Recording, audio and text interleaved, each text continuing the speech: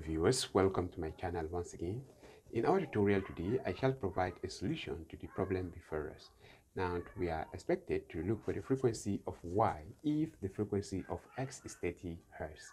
Now to do that is very simple. We know that frequency f is always equal to number of cycles per the second okay?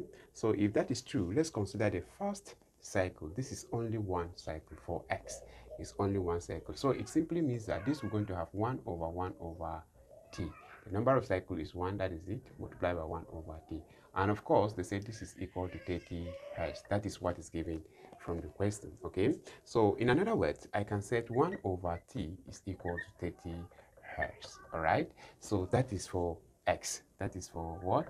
X. Now for y now is something, I will set my f is equal to n over t and this is equal to, this time around, how many cycles do we have? This is one cycle, this is two cycles, half cycle.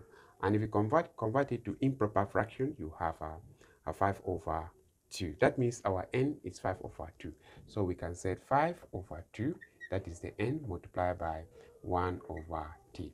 But you know that we know our 1 over t. Our 1 over t is 30. So this is equal to 5 over 2 multiplied by 30. 2 into 2, 1.